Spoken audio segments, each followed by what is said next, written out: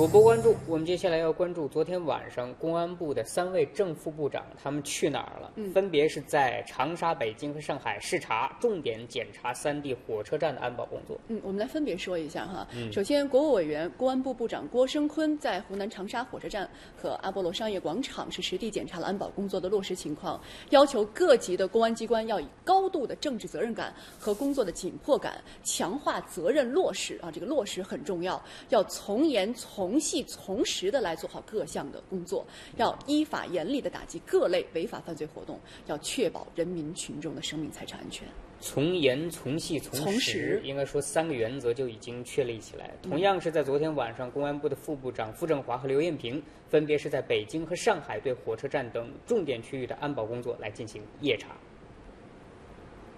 五月六号晚，公安部副部长、北京市常委、市公安局局长傅政华带领北京市公安局民警，奔赴北京站、北京南站、北京西站、北京北站等重点区域，进行了武装巡逻，实地检查了警力部署及各项安保措施落实情况。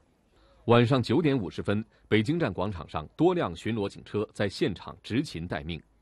傅政华询问了执勤民警工作职责，检查了车载设备运行状况，以及与市局指挥中心图像实时传输情况。随后查看了北京站警力部署、武器装备配备、防暴处突措施落实等情况。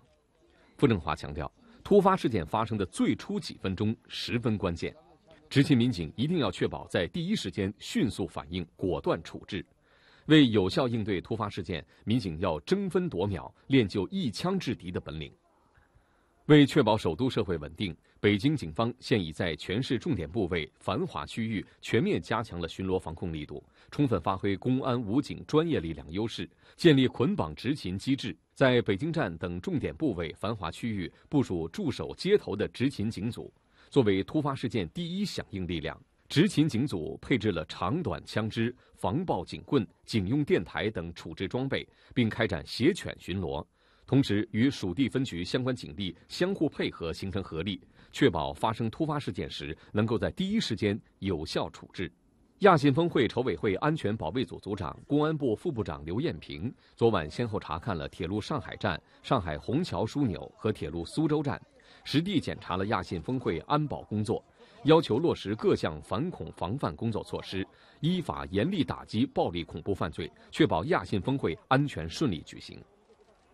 在铁路上海站广场，刘艳平检查了各项治安管控措施落实情况，重点查看了装备配备、处置预案等情况。随后，在铁路上海站指挥调度中心召开了现场会，专题部署了反恐防范工作。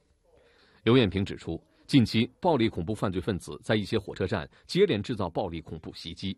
各级公安机关、武警部队要对当前反恐工作面临的形势保持高度的警觉，不断提高反恐怖应急处置能力，出重手、下重拳，先发制敌，把暴力恐怖活动摧毁在行动之前，坚决打掉暴力恐怖犯罪分子的嚣张气焰。刘艳平强调，要进一步增强治安防控工作的针对性、有效性和预见性。强化车站、地铁等重点场所部位以及人群密集地区的巡逻防范，突出整体防控、重点管控，充实武装巡逻力量，强化公安武警联合武装巡逻，提高见警率，保持威慑力，增强人民群众安全感。对公然行凶、危害公共安全的严重暴力犯罪分子，要依法采取坚决果断措施，及时处置。